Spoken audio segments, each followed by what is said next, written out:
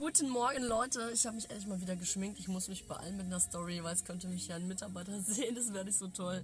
Äh, muss ja nicht sein, ne? Ich habe mich mal wieder geschminkt. Ich habe wieder Wimperntusche drauf. Ich hatte einfach Lust drauf. Ich wünsche euch einen ganz tollen Tag. Es ist 6.19 Uhr und ich bin bei der Arbeit. Und meine Stimme ist immer noch nicht so gut. Ich hoffe, sie wird bald besser. Also einen ganz, ganz tollen Tag euch. Ich freue mich auf den Tag, weil ich habe nicht mehr viele Überstunden. Ciao.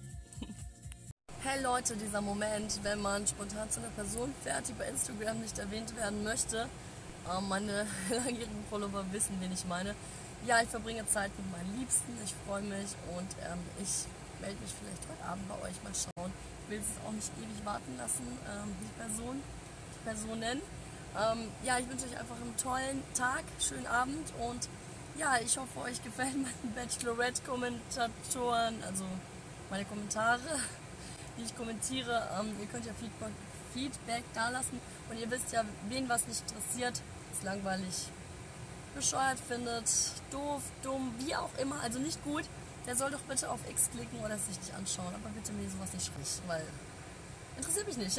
also ihr Lieben, einen schönen ähm, ja, Abend in dem Fall, mega heiß im Auto. Also ähm, bis später vielleicht, mal gucken, ich weiß es noch nicht. Tschüss!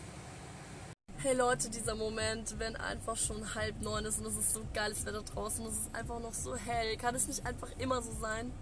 Also, Leute, ich habe so gute Laune, weil dieser Moment, nicht nur, dass es schön hell draußen ist und geiles Wetter und ich so viel Zeit mit meinen Liebsten verbracht habe und meine Haare sind die einzigen, die mich gerade ein bisschen stören, aber ihr wisst ja, das ist bei mir oft der Fall. Ähm, ich bin jetzt gerade in meinem Auto gesessen und dann ist einer mit seinem Auto reingefahren und der hatte so ein, ich weiß nicht was für ein Auto, ich gucke da nicht so drauf, ich bin da nicht so ein Golddigger, dass ich da gucke, was der Mann für ein Auto fährt. Auf jeden Fall der Typ, ne, er fährt so mit dem Auto rein, so ein paar Meter vor mir, ich sitze in meinem Auto, total müde, habe meine Brille kurz ausgezogen, irgendwas da gemacht am Auge, habe sie auch wieder angezogen er fährt vorbei, guckt mich an und lächelt mich so süß an. Er ist voll süß angesmalt. Oh mein Gott. Und ich habe halt so ernst geguckt, aber als er mich angesmalt hat, musste ich auch voll lächeln. Ich so ein Lächeln ins Gesicht gezaubert und der sah echt gut aus. Ja, mal gucken. Ich habe sein Kennzeichen.